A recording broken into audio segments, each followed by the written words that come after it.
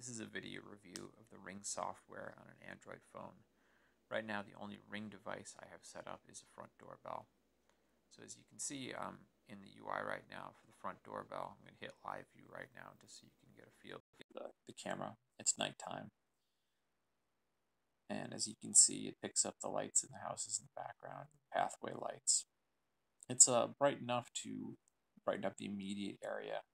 Uh, it would be difficult to get any kind of facial recognition off the, this during the uh, during the night, but in the day it's got a great picture. It's good enough for security purposes at night. You can set up the motion sensing, sensing, and I have this set up for certain zones right now. I have the zones on the left excluded so it doesn't pick up passing cars. And you can do scheduling and smart alerts. I haven't really gotten too much into those yet. Uh, you can set this up on multiple phones. That's what the shared users is in the middle there.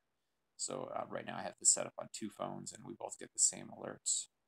Go to the event history and you can see it shows separately when there's been rings at the front doorbell and when we've answered or missed them and when it's captured motion events and when we've answered those as well. So that's about it. Uh, there's not too much more complicated to this. Um, there are some other things here in the front uh, outside the devices. Uh, I can show you the setting up of other devices. As you can see, there's quite a few different Ring family devices, including floodlight cam and indoor chimes.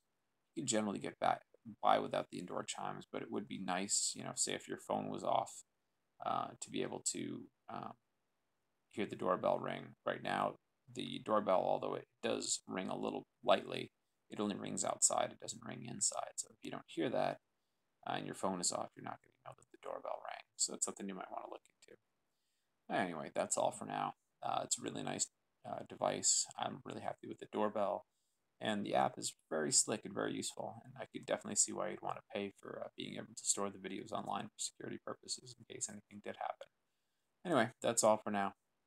Uh, enjoying the device, device, and I hope you uh, would enjoy it.